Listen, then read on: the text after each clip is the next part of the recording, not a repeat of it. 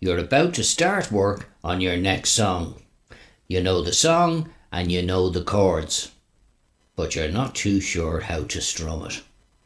Now, if that sounds familiar, this video is for you.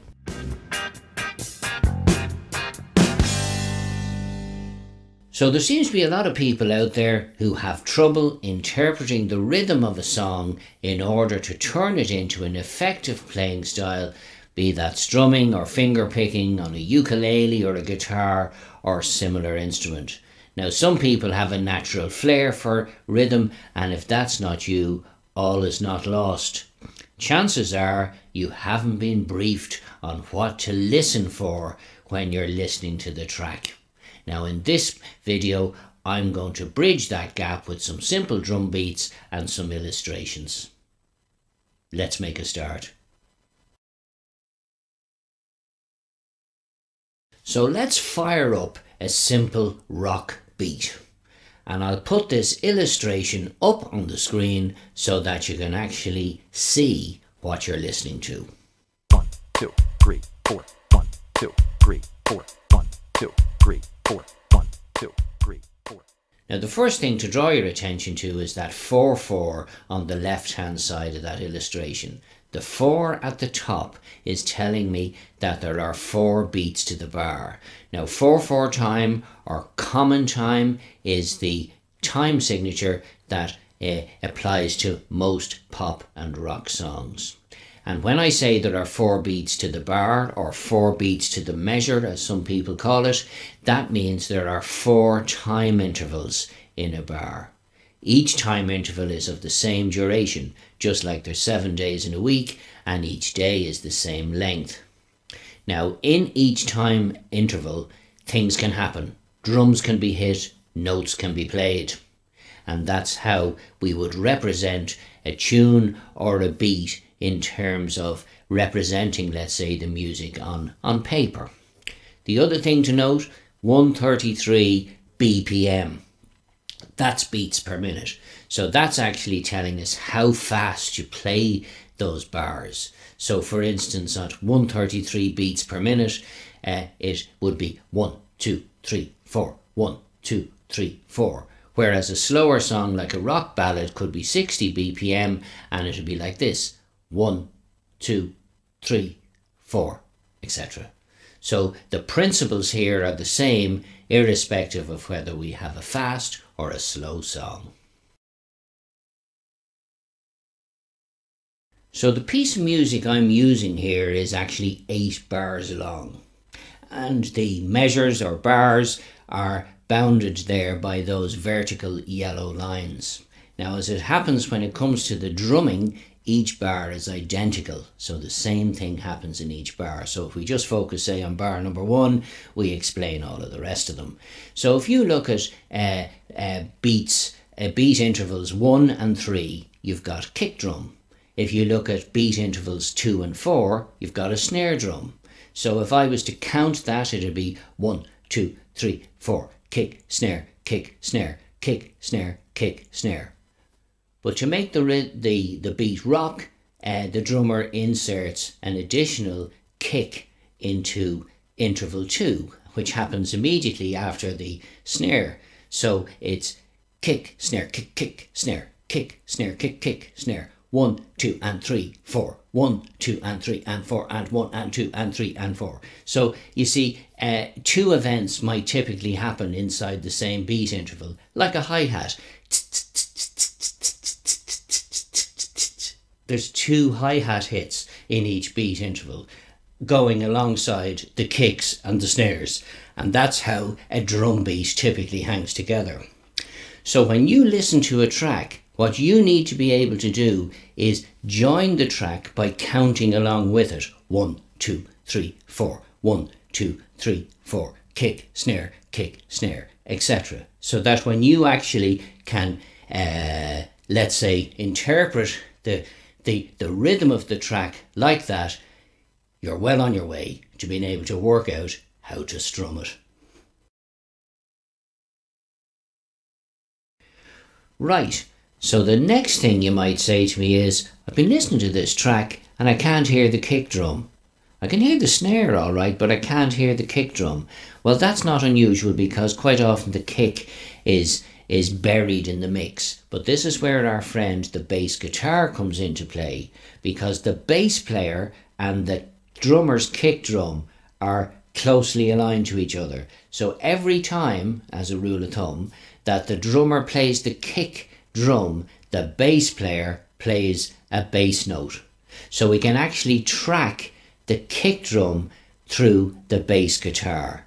Now, the bass player will play some additional notes, they'll be supplemental to give uh, the music a bit of feel.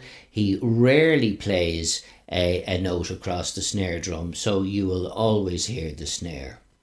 Now, for our drum sequence, let's add in that bass line and see what it sounds like. Have a listen. One, two,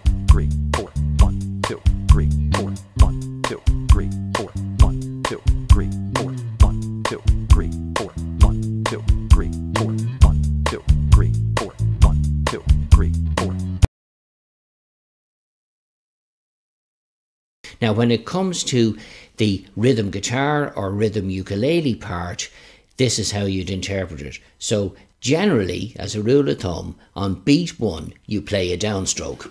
And on beat four, you also play a downstroke, as a rule of thumb. Now, if I run that sequence that we have there, I'm going to play along with it with one of the most simplest strumming patterns you could possibly have. Let's do it three, four.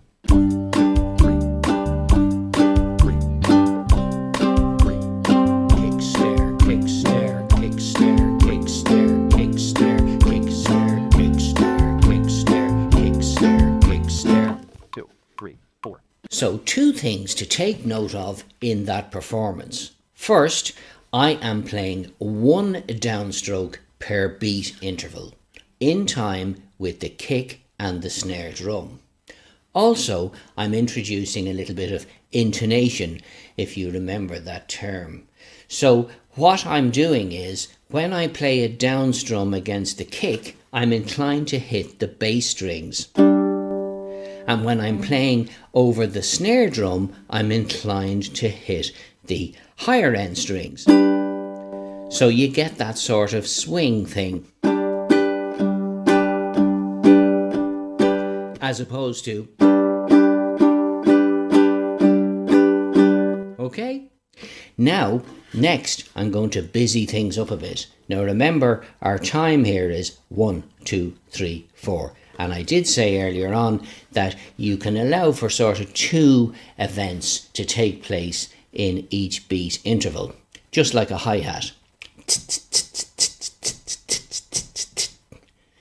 So now I'm going to play it with two strums in each beat interval.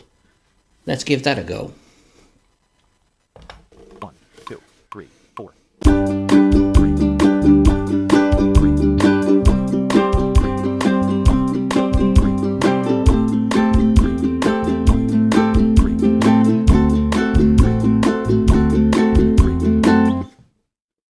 Okay, so a couple of things to note in that performance. I'm playing two strums in each beat interval. And the best way to count that is one and two and three and four and one and two and three and four and. And on each of the, the main uh, numbers, one, two, three, four, I'm playing a downstroke. And with every and, I'm playing an upstroke. Now, not only am I playing the bass strings against the kick drum and I'm playing the upper end strings against the snare drum, I'm also adding in some more intonation so that when I'm playing against the snare drum, my downstroke is slightly harder to emphasize that. So, again, that's our intonation hard and soft strokes, long and short strokes. You remember that one? Okay, let me just demo that again.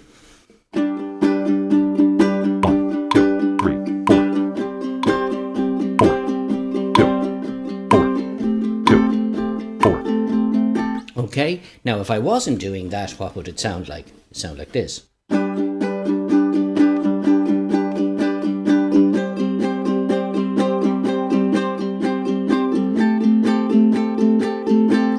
that reminds me of a quote from a previous video of mine. Roll it there, Colette.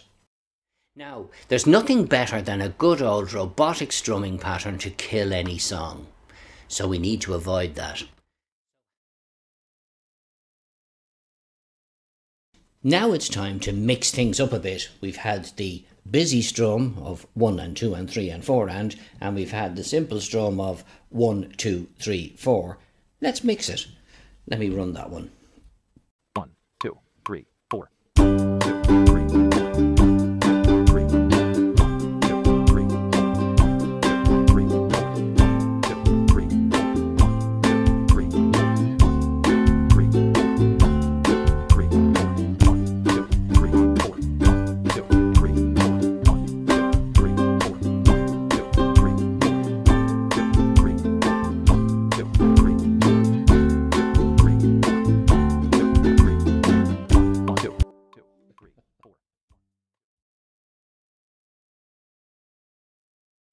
So, what did you think of that?